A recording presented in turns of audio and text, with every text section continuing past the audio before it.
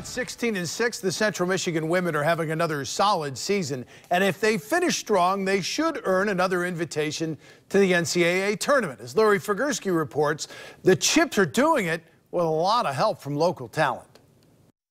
Hands to Waters, curling around. Waters banks it up. Led by a trio of former West Michigan high school standouts. Hudson pops open.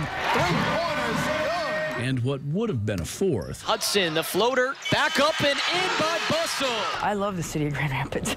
Um, it's a great place to visit, and it has really good girls high school basketball. We've got very good coaches. These Chippewas are hoping to build upon the greatest season in school history. Bussell all alone underneath. 30 and 5 a season ago and the school's first ever trip to the NCAA Sweet 16. It's pretty fun playing with them because we also um, train together in the summer too, so we can build a lot of chemistry through a lot of different things. Former Rockford star Maddie Waters, former Wayland standout Presley Hudson, and former Grand Rapids Catholic Central greats Kira Bussell and Sophie Karazinski. You know, Soph actually was on her way before she retore that ACL. It's super hard just because obviously like I love basketball and I played with these girls for so long, but um, I think it's awesome to see them succeed and I'm really excited, you know, to get back in rehab and be able to play with them next year. Waters gets it into Hudson.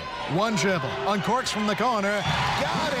Hudson, the senior star who helped change the culture of the program and has rewritten the record book. It's kind of cool to look back on, um, but for me, it's more about our team and how successful we are as a team because you can have all those accolades and then not be a good team, which wouldn't really mean anything. Waters